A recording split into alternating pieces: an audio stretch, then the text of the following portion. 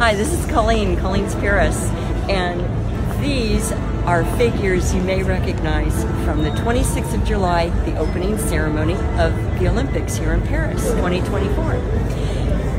We have a figure, it's a woman, and it was designed by Jeanne Friot. Another company designed the horse. What came first was the costume because Thomas Jolly, he imagined a strong woman like Jeanne d'Arc. What does Jeanne d'Arc do? She sits on a horse. You can see it at Pyramide. So this strong woman would gallop through the Seine. That came up, he came up with the idea of the horse. And the company Blam designed it according to his specifications. Voila. It's now exposed for a while in the courtyard of Hôtel de Ville.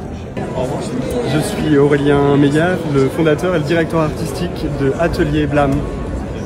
J'ai travaillé pendant plusieurs mois avec toute mon équipe sur l'élaboration euh, du cheval, la conception du cheval.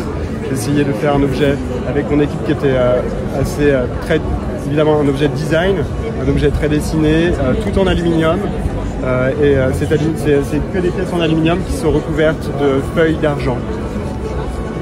This uh, is one of the most beautiful picture in the opening ceremony and uh, to see that to see this art uh, is for me as mayor but also uh, for our citizen um, anything very very important and uh, and strong it's uh, a big emotion to see that in the City Hall of Paris.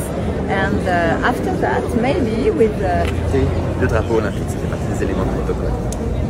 Je souhaitais qu'il euh, y ait euh, une femme, d'abord, euh, qui vienne apporter le drapeau olympique dans le noir, dans la nuit,